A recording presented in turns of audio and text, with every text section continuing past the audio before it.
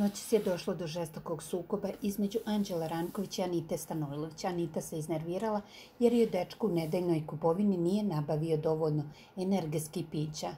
On joj je obezbedio deset limenki, ali je ona zahtevala 15, pa je napravila dramu.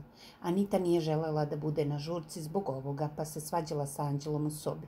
Nakon što se žurka završila, njih dvoje su šaputali u krevetu, a onda je ona povisila ton. Nisi mi majka pa da pričaš tako sa mnom. Sa mnom majka ne smije tako da priča, kamo li ti? Rekla je Anita. Nema fijaj, dodao je Anđelo.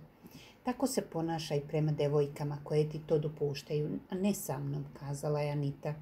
Šta sad to pričaš, upitao je Anđelo. Kao što sam ti rekla, mene samo ja zanima, a ne ostali ljudi ovdje. Meni je bitno da je kod sebe imam energetsko piće. Ti se kao moj dečko nisi setio da meni daš energetsko piće, ono što ja najviše volim. Kako bi mi nešto drugo dao, kad to nisi? Kao moj dečko, istakla je Anita.